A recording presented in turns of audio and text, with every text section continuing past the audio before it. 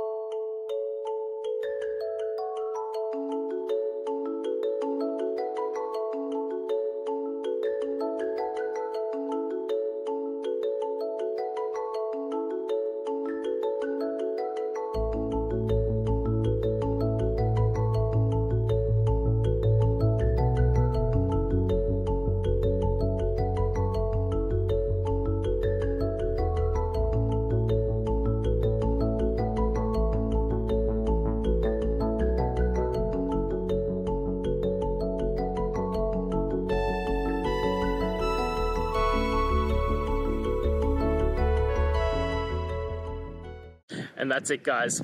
I hope we've gone through and found the answer that you're looking for. And look, if we did find that answer in your resolution, please hit the subscribe button. I'd really appreciate it. Now, until the next time you need technical videos, I hope you have a good one.